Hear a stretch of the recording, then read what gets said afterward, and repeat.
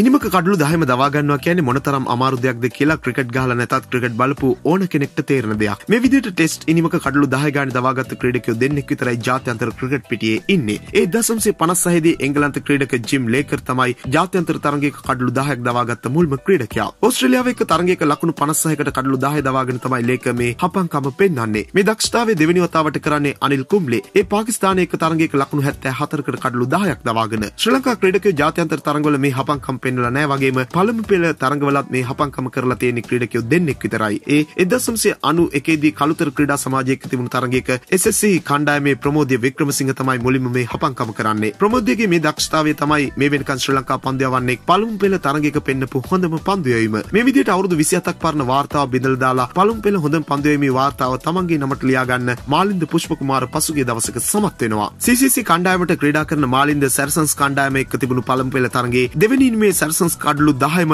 ලකුණු 37කට දවාගෙන තමයි මාලින්ද මේ දක්ෂතාවය පෙන්වන්නේ. ක්‍රිකට් ඉතිහාසයේම පළමු පෙළ පන්දුවේම අතරේ 13 වෙනි හොඳම පන්දුවේම විදිහට තමයි මේ වාර්තාව වාර්තා පොතට එකතු වෙලා තියෙන්නේ. මේ සුපිරි දක්ෂතාවයෙන් පස්සේ මාලින්ද කිව්වේ තරගයේ ජයග්‍රහණය වෙනුවෙන් උපරිමය දෙන්න හිතාගෙන පන්දුවේම එක්ක මේ වාර්තාවට එන්න පුළුවන් වුණා කියලා. ඒ වගේම පළමු පෙළ උපරිම වැඩ පෙන්ලා ජාතික කණ්ඩායමට නැවත එන එක තමයි තමන්ගේ අරමුණ කියලා මාලින්ද කියලා තිබුණා. රංගනගේ අඩුව පුරවන්න ඉන්න හොඳම පන්දු යවන්න විදිහට වැඩ පෙන්වන්න මාලින්දට ඉස්සරහ තරගාවලි වල ජාතික කණ්ඩායමේ අවස්ථාව ලැබිලා ශ්‍රී ලංකාවේ ජයග්‍රහණ වෙනුවෙන් උපරිම කරන්න හැකි වේවා කියලා මාලින්දට අපි සුබ පතමු. මෙවැනි වීඩියෝ දිනපතා බලන්න අපත් සමග එකතු වන්න. ඔබ තාමත් අපේ channel එක subscribe කරලා නැත්නම් දැන්ම අපිව subscribe කරන්නත් ක්‍රිකට් වලට කැමති ඔබේ යාළුවෙකුට බලන්න මේ වීඩියෝ එක share කරන්නත් අමතක කරන්න එපා. ක්‍රිකට් පිටියේ නැවුම් දෙස් අපිරි තවත් අලුත් වීඩියෝවකින් හමු වන තුරු ක්‍රිකට් ලංකාවෙතින් ඔයාට සුබ දවසක්.